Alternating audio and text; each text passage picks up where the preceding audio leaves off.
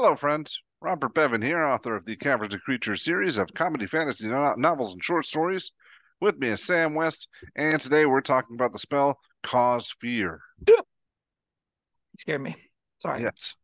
Uh, Cause Fear is Xanathar's Guide to Everything. First level necromancy. Action to cast, 60 foot cast range, verbal components, concentration up to a minute. Bummer concentration, but it is really cheap. You awaken the sense of mortality in one creature you can see within range, which might be the most poetic way for such a simple effect to be worded. Yeah. That's in done like sure, like the existential dread, I guess, is what this spell is doing. A construct or undead is immune to the effect. The target makes a Wis save or is frightened until the spell ends. The frightened target can repeat the save at the end of each of its turns, ending on a success. And when you upcast it, normally I exclude upcasting whenever I'm talking about these because I never think they're worth doing. But this one, this one lets you target additional creatures for each spell level above first. So if you use second, you get two. If you get a third, you get three. Fourth, four, four, et cetera, et cetera, et cetera, all the way up. But if you're using third, just use fear. That's an option. Uh, that is almost always better.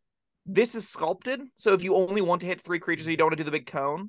That's a Yeah. reason. This is also flexibly also just an additional first level spell. So the the neat reason to upcast this is putting this on your sheet, kind of like having nine levels worth of different spells that target just like first level targets one thing, a second level spell is cause two fear, and it's not cause fear anymore because it's targeting two things. So kind of is like getting more bang for your buck. you can always download downcast only costs you one slot to prepare. Upcasting it's great, I think. Regardless, Warlock Wizard spell for just the first level version. You're just casting with the first level spell. You're eating your concentration. Got 60 foot range. You're making something afraid. What is that worth to you? Right. Well, well, what is what does that entail? The frightened condition. That's uh, right. it can't attack. Or no, it, it can't move toward me or something. That's right? correct. And what I else? frightened. Two bullet points. A frightened Okay. creature has disadvantage on ability checks and attack rolls while the source of its fear is within line of sight. Attack rolls to anybody. Anybody, if it if it can see you, it has disadvantage on ability checks and attack rolls. Full stop. Okay. Additionally, because you're the source of the fear.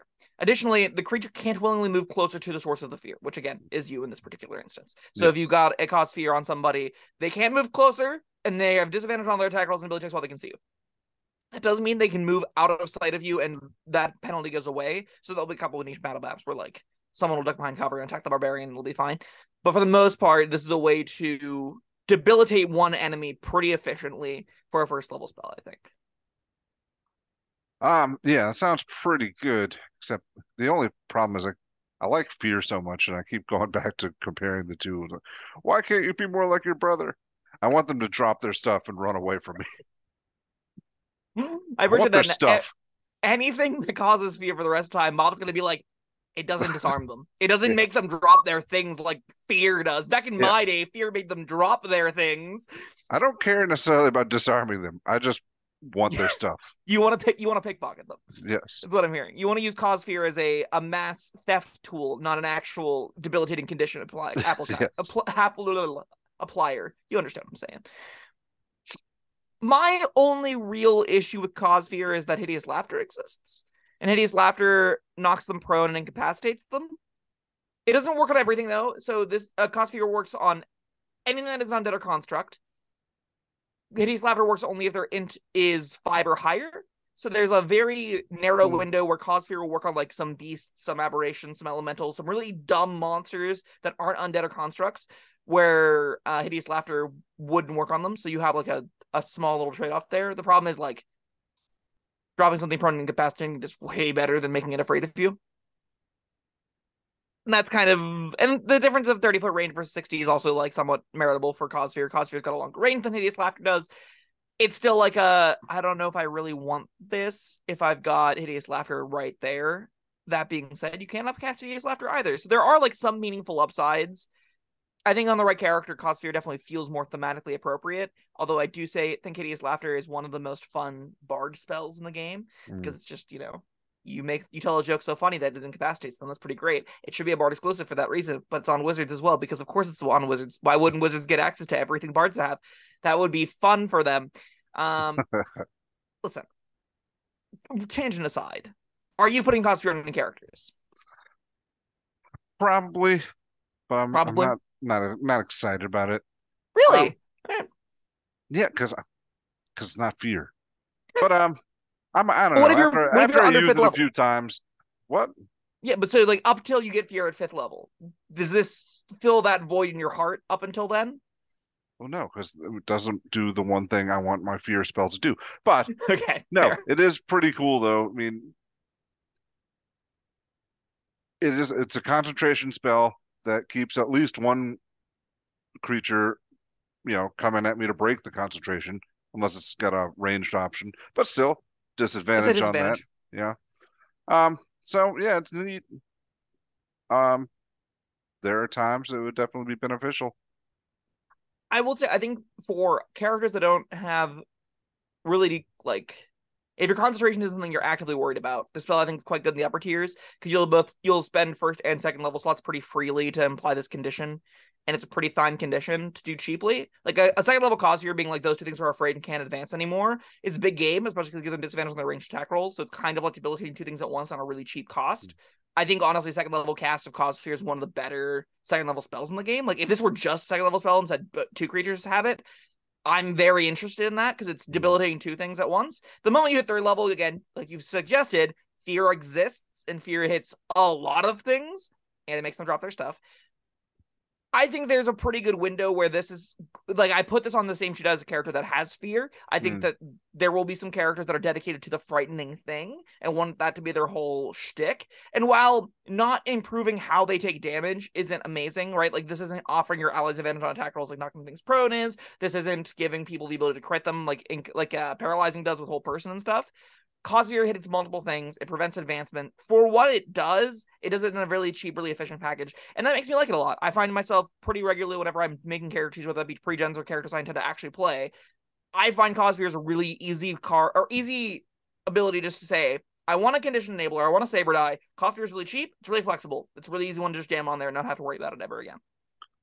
What? All right. Uh, what about saving throws? Uh, wisdom. Yeah. Is that how are how are beasts with regard to wisdom? Or you- who are you casting this on reliably? most anything with I I we've had this conversation and I saw there was a comment about it. And I understand this is why this question is being brought up right now. to whenever you're in character building, my argument is not that saving throws aren't superior statistically than one or the other. I'm saying that there's a wide enough variety of monsters that you shouldn't really care about when you're building your character what the saving throw types are. For the Not most when you're part. building your character. I'm talking more about like I've got I've got this on my character sheet, Sure. but I want to be selective about how I use it. Maybe if uh if a bunch of clerics are attacking me, then uh Sure. I'm probably gonna choose a different option than this.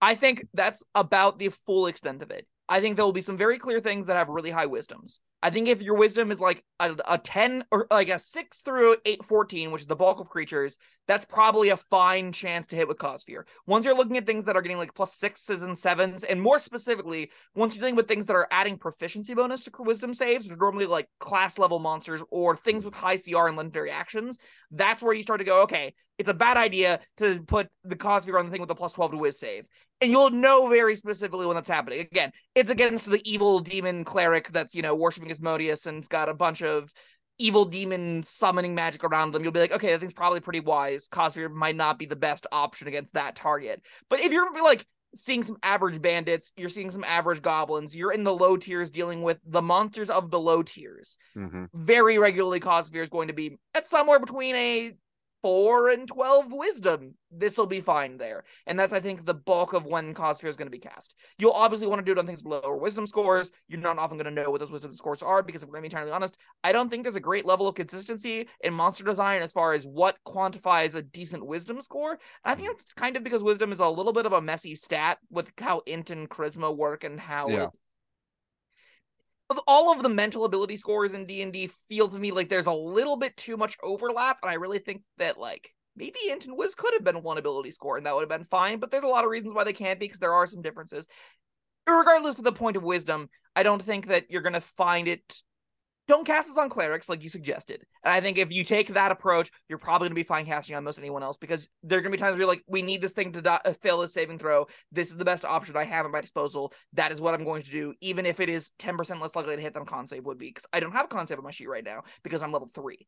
And that's where I think the reality of cause fear is going to be. All right. Well, you got a rating for this one?